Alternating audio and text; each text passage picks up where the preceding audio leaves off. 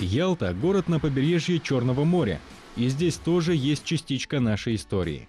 Губайдула Жангирулы Букеев – выдающийся казах, который получил чин генерал-кавалера, жил в городе Ялта и занимал ответственный пост. Родился он в 1840 году в Букеевской Орде.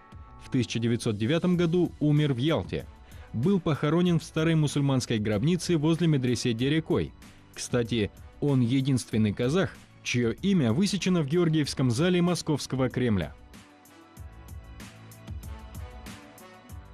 Это человек, который сделал очень много для своей новой родины, для Ялты в том числе.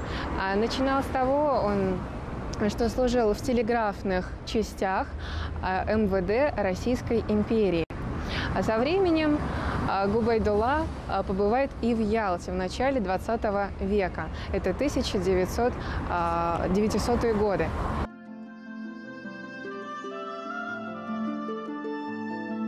Жизнь вот такой исторической личности – это хороший пример для молодого поколения, поэтому памятник этому человеку должен быть как в Крыму, так и в Казахстане. Такое предложение сделали члены научной экспедиции по следам предков.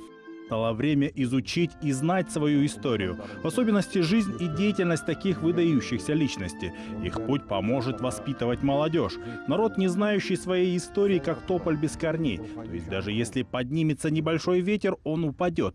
Поэтому наши корни должны быть глубже и крепче.